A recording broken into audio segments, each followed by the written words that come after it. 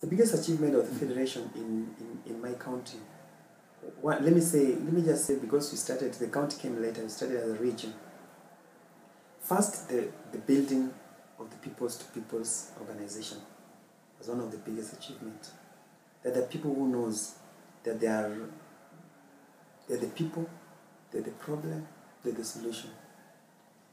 And uh, unless they come together, they'll not be able to know what kind of a solution is very sustainable to them.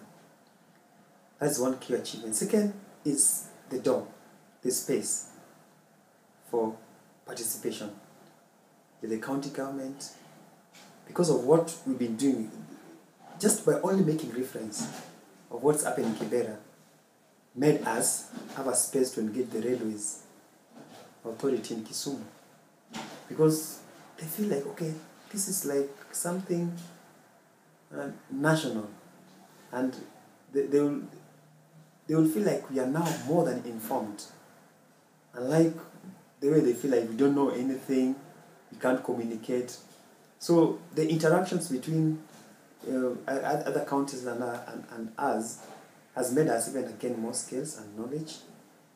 And also the improvement of livelihood, the, the, the, the learning system, the learning uh, uh, processes and the federations actually. If you are anybody, you want to be in a federation to get along, not go to a microfinance to get along because of the interest and the, uh, and the understanding on some of the economic needs that there.